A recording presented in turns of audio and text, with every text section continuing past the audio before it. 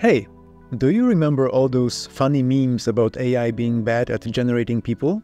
Those are not proper fingers, lol. This is not Channing Tatum face, rotful. Well, it's time to stop laughing at Channing Tatum and start being vigilant. The technology moved so far that AI is now generating some excellent faces. Faces that are better than those coming from the Mother Nature herself. Human face is the main and first element of social interactions. The ability to read as much information about the face owner as possible from the physiognomy is a great evolutionary value. Indeed, it turns out that this relatively small element of our body is a great cheat sheet that everyone can use. And we are surprisingly good at judging others by their faces. We only need a 100 millisecond exposure to evaluate the person's attractiveness, likability, trustworthiness, or competence. Watching the face longer changed only how sure we were about our scoring, not the scoring itself. And since we love faces so much, there were a lot of photos, portraits, selfies just sitting around that we could use as a dataset to train a machine learning model. This way we acquired a quick way to recognize faces, but with the introduction of generative networks, we could produce brand new ones. Everyone can visit this person does not exist page to get some freshly baked profile of a non-existing human-like entity. Just look at this majestic mullet. This technology can be utilized for more things than just entertainment. For example, it is helping to artificially age faces on childhood photos to help find long-lost children. But it is also used by bad agents to anonymize wrongdoing, push propaganda, commit fraud. And as the paper from 2022 showed, not only anonymize, push, and commit, but make the whole thing more trustworthy. In an experiment published in Psychological and Cognitive Sciences, Sophie Nightingale and Hany Farid focused on creating a benchmark evaluating the photorealism of AI-generated faces versus the boring, real ones. On top of that, researchers wanted to check if there is any difference when we evaluate synthetic faces. For example, when we judge if we can trust the owner of that face. Untrained participants had to run through 128 randomized portraits, evaluating if the person is real or not. Results were quite eye-opening. Accuracy of judging if the face was real or not was around 48%, basically close to just guessing, tossing a coin.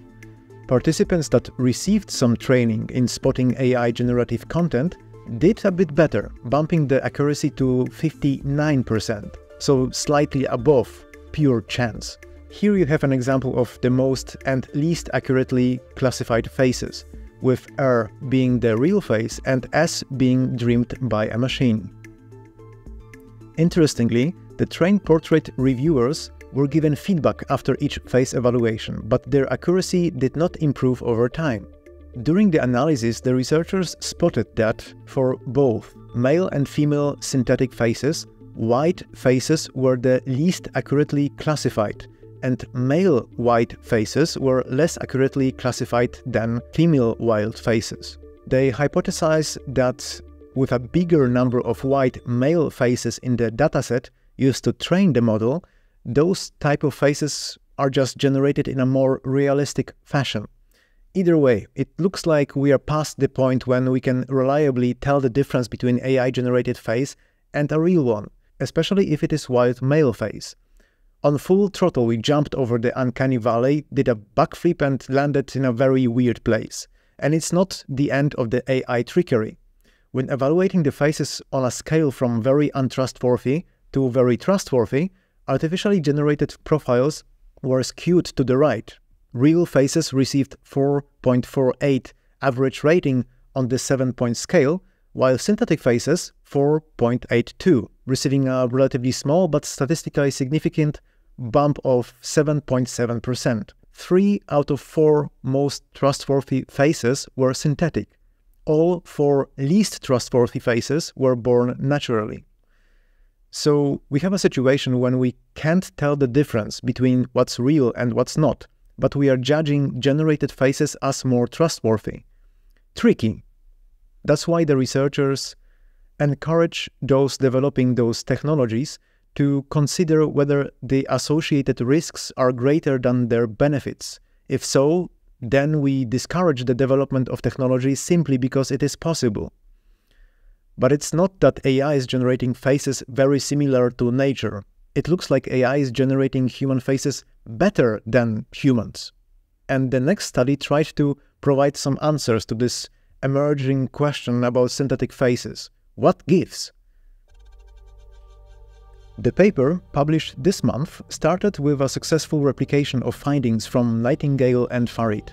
Again, the researchers have shown that white AI faces were judged as human significantly more often than white human faces.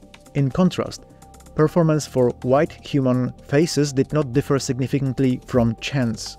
The replicated effect, as the authors write, was robust. Suffice to say that 4 out of 5 faces, judged most often as human, were AI generated. Out of the 5 faces reviewed most often as synthetic, 4 faces were natural. That's just nuts. Authors of the paper created a term for this phenomenon, AI hyperrealism, and started to dig deeper into it. Participants in their study, beside evaluating portraits, had to say how confident they felt and which cues they used to make their judgment. As for the confidence, well, the results are kinda concerning. We found that participants who were the worst at detecting AI faces had the poorest insights into their abilities.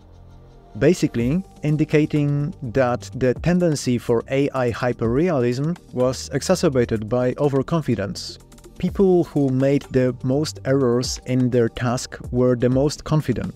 That's already a great start. But what about the face cues? Researchers bucketed all the data points participants provided during the experiment and created this beautiful wheel of how to spot the Terminator. 10 of the most common mentioned attributes, like the image quality or having smooth skin, were picked to study this AI bias further. We are reacting differently to those synthetic faces, so there must be some kind of specific thing that we don't consider less human, but somehow even more human, and maybe differences in those attributes can steer us towards understanding. Researchers sprinkled the analysis with four more attributes derived from the face space theory. This theory proposes a hypothetical multidimensional space in which faces are coded along unspecified dimensions according to how much they differ from the average face located at the center. Basically, you have different axes for each attribute and you can code each face by putting it somewhere on that space, with extremely average faces sitting in the cozy middle. Those four bonus attributes were averageness, memorability, familiarity, and attractiveness. This way, researchers could check which attributes made faces look real, even if or especially when, the, when they were AI generated.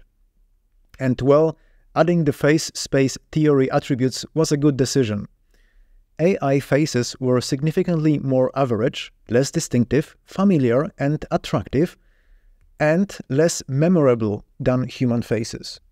Those are the basic, simple ingredients to create a better than human AI face. And those make sense if you recall that the model was trained on a bigger number of white male faces.